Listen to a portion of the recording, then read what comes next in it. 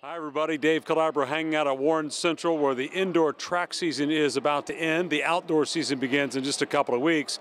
Warren Central trying to figure out how they're going to fuel their way through the competition this year. They need your help. On a cold March afternoon, the Warriors indoor track is like I 465 at rush hour. The girls' track team pounds the concrete hour after hour. All right, good job, girls. Coach LaGretta Smith spent the past 11 years growing this program, and it has taken off.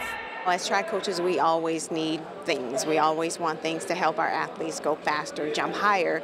The team numbers are up.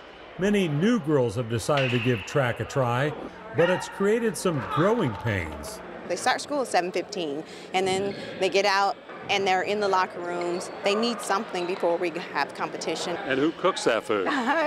it's either me or my husband. We're making pasta for them or sandwiches. That's right, the coach helps feed the athletes the right nutrition out of her own funds. So the girls and the team decided to do a fundraiser to help defray the cost. And now they're asking the community to give a couple of dollars. We need money so we can eat and bring more people into the our team the team has grown so much they don't even have enough uniforms to go around. So now they want to raise a few dollars so everyone on the team has the gear they need. Yeah, we need to upgrade. It'll make you faster, right? right. You got to look good to run fast, right? Yes, yes, you do.